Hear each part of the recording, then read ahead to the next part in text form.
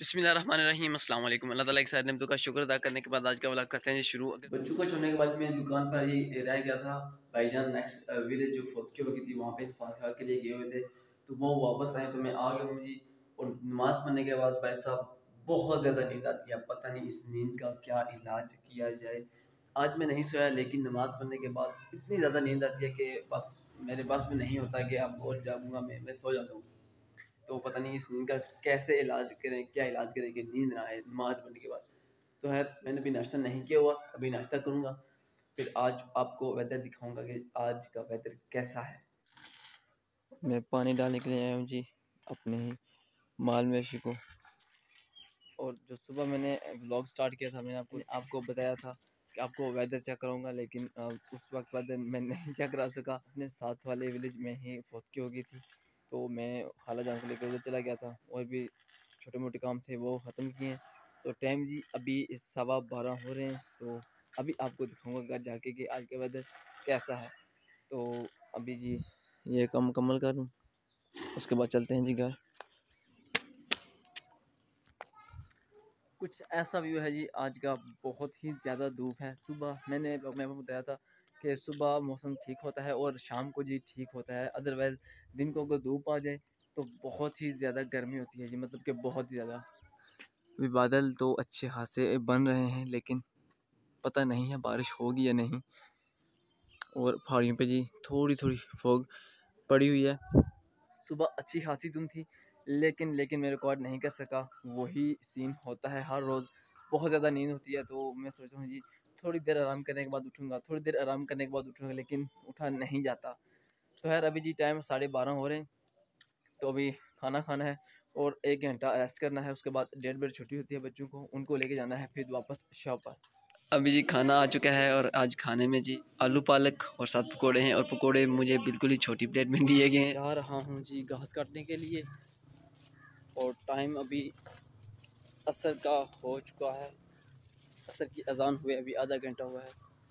उम्मीद है कि मैं मगरब से पहले पहले वापस आ जाऊँगा। थोड़ा टाइम तो लगता है जी घास काटने में मेरे कार्टून मेरे साथ होते हैं, लेकिन लेकिन आज वो मेरे साथ नहीं है। मेरे ख्याल में वो मस्जिद में गए थे तो अभी तक वापस नहीं आए, या फिर वो मुझसे पहले ही पहुँच गए होंगे घास काटने के लिए। तो मैं ऊपर से आपको व्यू दिखाता हूँ जी, नीचे खेतों का, और एक टाइम के बाद यहाँ पे जी हल चल जाएगा। यहाँ पर। आते हुए जी, रस्ते में बहुत ही जहरीली बूटियाँ हैं। तो अगर ये लग जाएँ जी जिसम के साथ तो बहुत ही ज़्यादा खारिश होना शुरू हो जाती है। अभी जी मैं पहुँच चुका हूँ टॉप पर। तो यहाँ से जी, अभी ऐसा नज़ारा है। और हम घास यहाँ से काटते हैं, और छोटे घर में नहीं आए तो अभी मैं यहाँ से घास काटूँगा। और ऐसा मौसम हो चुका है। सूरज अभी यहाँ है जी तो कुछ देर बाद गरूब हो जाएगा। अभी टाइम वेस्ट किए बगैर जो है वो घास काटना शुरू करते हैं, ताकि जी मैं टाइम से ही घास काट लूँ और फिर घर की तरफ़ रवाना हो जाऊँ। माशाल्लाह जी, सूरज बहुत ही खूबसूरत लग रहा है यहाँ से। तो जो मेरा दिल कर रहा है वो मैं ये सोच रहा हूँ कि यहाँ से काटना शुरू करूँ, ऐसे ही आगे जाऊँ, या फिर यहाँ से काटना शुरू करूँ। अगर यहाँ से काटूँगा तो धूप लगेगी मुँह पे, अगर वहाँ से काटूँगा तो पीठ पर धूप लगेगी।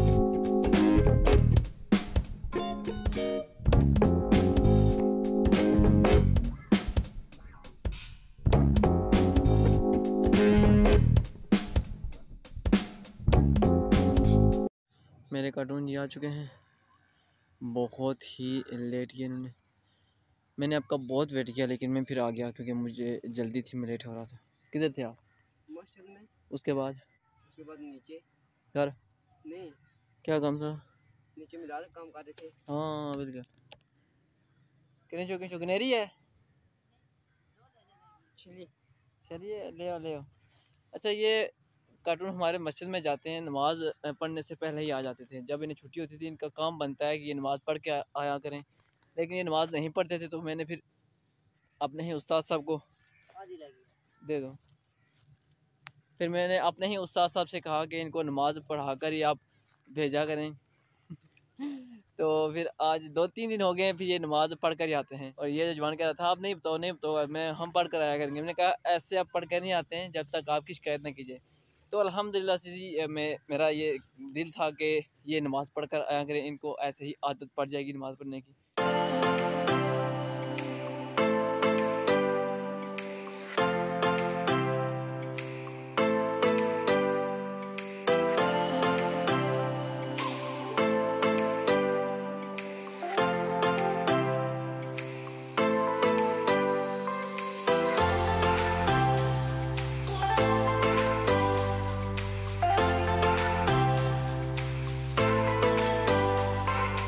काम जी हो चुका है जी मुकम्मल और हमारी मस्जिद जी इन दरख्तों के पीछे है। यहाँ से नज़र नहीं आ रही। तो अभी इधर भी अजान हो जाएगी। तो काफ़ी टाइम हो गया जी मुझे यहाँ पे आए हुए। तकरीबन पौना घंटा है इससे ज़्यादा टाइम हो गया होगा। तो मैं आराम आराम से घास काट रहा था। तो काम हो जी मुकम्मल, अभी घर चलते हैं। और आज का जो दिन है वो मेरा बहुत ही सुस्ती में गुजरा है जी। ये समझ लें कि सोते हुए और अभी मेरे सर में दर्द हो रहा है, पता नहीं क्यों, बहुत ज़्यादा। तो घर चल के जी खाना खाएँगे, उसके बाद फिर गोलियाँ खाएँगे और रेस्ट करेंगे। उम्मीद है कि आराम आ जाएगा तो खैर, अजानें हो रही हैं जी। खैर, आज का व्लॉग यहीं भी ख़त्म करते हैं। अतीक मन को दीजिए इजाज़त, अपना बहुत सारा ख्याल रखिएगा, दुआओं में याद रखिएगा। आप सबका प्यार, अल्लाह